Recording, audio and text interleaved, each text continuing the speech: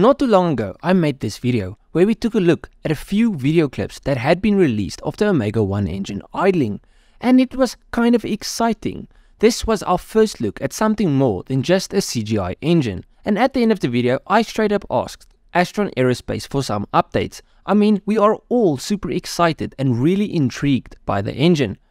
Well, they did. Over the weekend, I was super surprised to see that they had left me an email with the dimensions of the real engine, the new power output as well as torque. They also sent me two new renderings of the design from the latest iteration of the motor.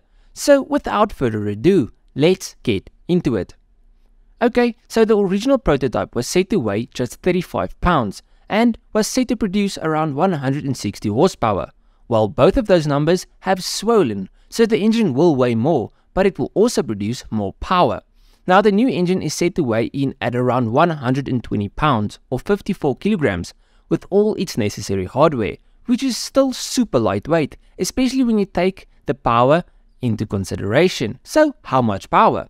Well, according to the information they sent me, their Gen 4.5 Omega 1 engine will produce 450 horsepower. Now, 450 horsepower from an engine that only weighs 54 kilograms is really impressive. But how about torque? In the video I made about the Omega 1, I got tons of comments stating that the engine won't make any torque. Well, according to Astron Aerospace, this engine will produce 600 foot-pounds of torque, or just over 800 newton meters.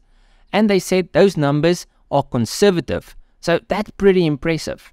Anyways, on to size. So, how big will the motor be? Well, we now know that too. So we have two diagrams that show us exactly how big the motor will be. From the front view, the engine will have a width of 11.42 inches or 29 centimeters and a height of 17.33 inches or 44 centimeters. When viewed from the side profile, the engine will have a width of 12.69 inches or 32.2 centimeters.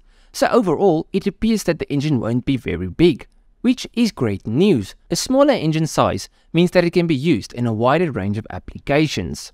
The size of an engine can play a crucial role in determining its suitability for various types of vehicles or machinery.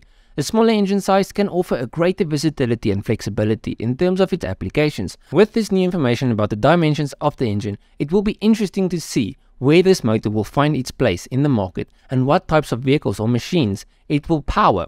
Now, we do know the size, the weight and the power of the engine, but that's not all. We do have some more info. See, I asked them if this actual engine will be able to run on hydrogen, like we thought in the beginning, and their answer was, it can run on hydrogen with zero harmful emissions.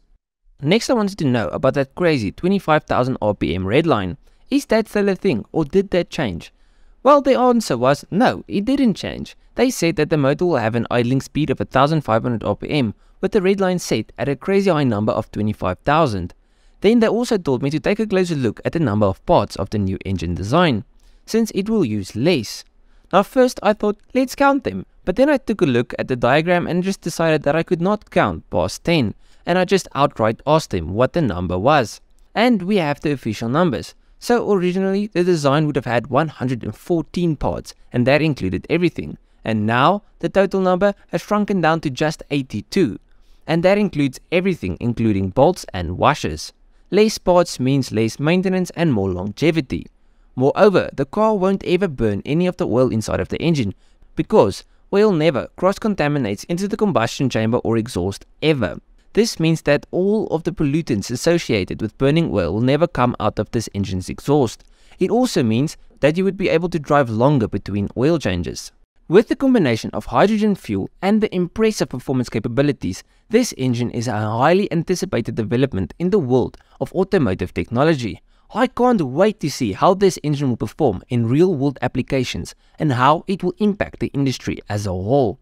If you want to see more on this engine, just stay tuned, cool things are coming. And if you would like to know how everything works, again stay tuned, I will be making a video going in depth on how everything works and how this engine actually runs. Anyways, let me know what you think of this engine. Are you excited for it? And where do you think it will be used? Me personally, with it being that small and producing that much power, I'd probably put it in something really tiny, like a small Mini or an old Corsa or something like that, something that weighs practically nothing. You put this great strong motor in that's really small and really lightweight, and you'll have a monster on your hands. but that's me. Where would you put it? Let me know down below. If you like this video, please leave a like and subscribe to the channel. And if you did like it, you like all of my other stuff, so just go through it, see if there's something else you like. I'll check you guys in the next one. Cheers?